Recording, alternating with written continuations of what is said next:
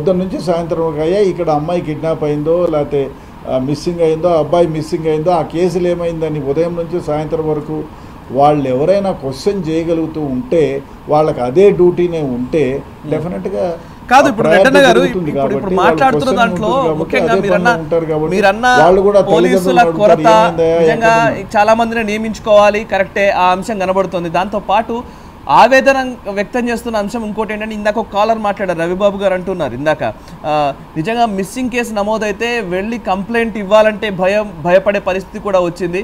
ఒక యువతి మిస్ అయింది అని చెప్పగానే ఎవరితో వెళ్ళింది అనే పరిస్థితి వచ్చింది అనే మాట నిజంగా చాలా ఆందోళనకరంగా లేదా? Is this the friendly policing నిజంగా మనం మాట్లాడుకుంటున్నాం పేరుకు ఫ్రెండ్లీ పోలీసింగ్ అంటున్నాం అట్లాంటి పరిస్థితి అన్ని పోలీస్ స్టేషన్లో కనబడుతుందంటారా? తప్పది.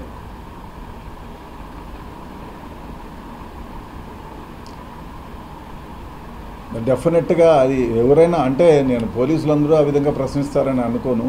ఒక percentage of people must be there. అందరూ.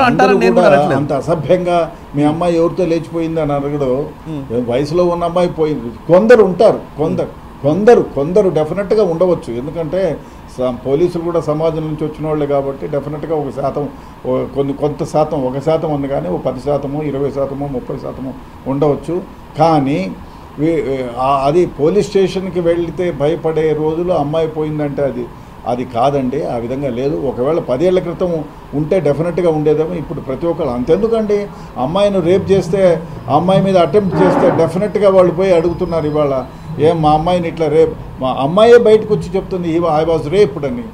లేకపోతే ఇన్ని కేసులు ఎక్కడ ముందు కాలంలో అయితే కూడా నోరు మూసుకొని పడిండు జరిగింది ఏదో జరిగిపోయింది రేపు నీకు పెళ్ళి కాదని చెప్పి చెప్పిన సందర్భాలు ఉన్నాయి నాకు నేను అసిస్టెంట్ కమిషనర్ బేగంపేటగా ఉన్నప్పుడు రెండు వేల మూడులో కంప్లైంట్ ఇచ్చి ఎఫ్ఐఆర్ కట్టిన అర్ధ గంట లోపల మాకు కేసు వద్దని చెప్పి నా పైన కేసు వద్దు కట్టద్దు కట్టిన తర్వాత కూడా తీసేయమని చెప్పిన ప్రెషర్ తెచ్చిన సందర్భం కూడా ఉంది. ఎందుకంటే ఆ కాలాలు పోయినాయండి ఇప్పుడు ప్రతి. ఒక్కళ్ళు కూడా ఎస్ ఈ షుడ్ బి. ఉన్నారు Yeah. డెఫినెట్గా పోలీసులు ఎవరైనా ఒకళ్ళు ఇద్దరు ఆ విధంగా మాట్లాడితే అది నిజంగా హేయమైన చర్య రైట్ రైట్ అనురాధ గారు మనకు ఫోన్ లైన్లో ఉన్నారు. కాలర్ వాయిస్ నాకు వినపడడం లేదు సాయి. నేను- చెప్తాను సార్, నేను చెప్తాను మీకు. మీ వాయిస్ వినపడతా ఉంది కానీ. Yes yes yes yes Anuradha గారు మీరేం చెప్పాలనుకుంటున్నారు? ఈ ఈ మిస్సింగ్ కేసులకు సంబంధించి మీ అభిప్రాయం ఏంటి? కాదండి మా అబ్బాయి కూడా మిస్ అయ్యాడండి. ఓ. Four years back fourteen two thousand ఫోర్టీన్లో అండి. నేను దిల్సినార్ పోలీస్ స్టేషన్లో హలో? చెప్పండి చెప్పండి అనురాధ దిల్సినార్ పోలీస్ స్టేషన్లో నేను కంప్లైంట్ ఇచ్చానండి సాయిబాబా గుడి పక్కన. ఓకే. సో అయితే నేను కంప్లైంట్ ఇచ్చినాక నా కంప్లైంట్ తీసుకున్నారండి అంత అయింది. ఆ తర్వాత నాకు యాక్సిడెంట్ అయిందండి మా అబ్బాయి విషయంలో యాక్సిడెంట్ అయింది. సో తర్వాత మళ్ళీ పోతే మీ కేసే లేదు నువ్వు కేసే ఇవ్వలేదు అన్నారండి అక్కడి వాళ్ళు. ఫైవ్ ఇయర్స్ నుంచి మా అబ్బాయి వెతికి వెతికి మీరు- ఇప్పుడు ఇప్పటి వరకు కనీసం ఏమి రెస్పాన్స్ లేదండి. త్రీ యాక్సిడెంట్ అయ్యి కాలు కూడా ఇరిగిందండి మా అబ్బాయి గురించి. సో మళ్ళీ పోతే మీరు మీరు కంప్లైంట్ ఇవ్వలేదని చెప్పారండి నాకు. అక్కడ. ఒకసారి అనురాధ గారు అనురాధ గారు చెప్పండి సార్ చెప్పండి సార్. మీరు మీరు బాధపడొద్దు మీరు ఏడవకండి. మీ ఆవేదన మాకు అర్థమవుతోంది.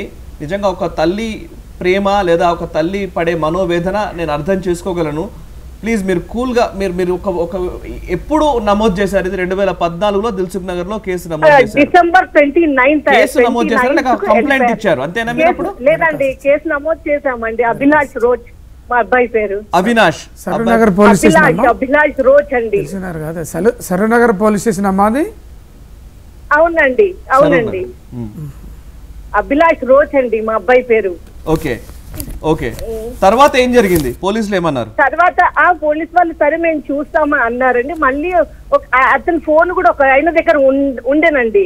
అయితే ఆ ఫోన్ అడిగిచ్చారు. ఆ తర్వాత కేసు మళ్ళీ నేను ఎప్పుడు పోయినా కానీ మేము చూస్తున్నామమ్మా చూస్తున్నామమ్మా అన్నారు. ఆ తర్వాత నాకు యాక్సిడెంట్ అయిందండి. టూ త్రీ మంత్స్ నేను లేవలేని పరిస్థితిలో ఉన్నాను. సో ఆ తర్వాత మళ్ళీ పోతే మీరు కేసే ఇవ్వలేదు అనేసిందండి మీ Okay. కేసే ఇది బుక్ కాలేదు అది కాలేదు అని చెప్పేసిందండి ఇప్పటికీ ట్రేస్ చేయలేదు. అభిలాష్ వయసు ఎంత? ట్వంటీ సెవెన్ ఇయర్స్ అండి. ట్వంటీ సెవెన్ ఇయర్స్ ఏం జా- అదే కాల్ సెంటర్లో జాబ్ చేసేవాడండి. సో. రీసెంట్గా అప్పుడే ఆయన కొద్దిగా అంటే యాక్సిడెంట్ అయ్యి ఇంటి దగ్గరే ఉండే అండి. ఓకే. సో కొన్ని రోజుల నుంచి ఇంటి దగ్గరే ఉండే. సో ఈవినింగ్స్లో మంచిగా ఉండండి. ఈవినింగ్స్లో వెళ్ళిపోయిండు. దాన్ని నెక్స్ట్ డే టూ డేస్ నేను చూసాను వస్తారనుకొని. ఏదైనా ఫ్రెండ్ దగ్గరికి వెళ్ళాడమో వస్తారని చూసానండి Okay. అసలు రాలేదు. థర్డ్ డే పోయి కంప్లైంట్ ఇచ్చానండి. ఇప్పటి వరకు మా అబ్బాయిది ఏ ఆచూకీ లేదండి. ఓకే.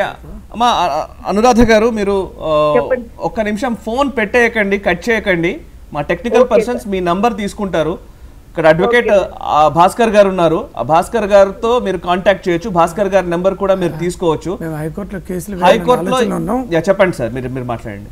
అమ్మ మేము ఈ రాష్ట్ర వ్యాప్తంగా చని ఈ కిడ్నాప్ కాబడినటువంటి అమ్మాయిల అబ్బాయిల గురించి కేసులు మొత్తం క్లోజ్ చేశారు ఒక రెండు వేల పైచిలకు. ఆ, ఆ విషయంలో ఒక న్యాయవాదిగా జాతీయ మానవ హక్కుల కమిషన్లో రాష్ట్ర మానవ హక్కుల కమిషన్లో మేము ఫిర్యాదులు చేసినాం. ఇట్లా కొంతమంది మీరు దరఖాస్తులు ఇస్తే కేసులు కట్టనటువంటి వ్యక్తులు కూడా మా దగ్గరికి వస్తూ ఉన్నారు.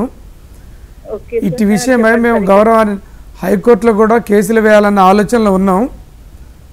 మీరు కూడా మేము తెలుసుకున్నట్లే ఉంటాం. మీకు సమాచారం ఇస్తే రేపు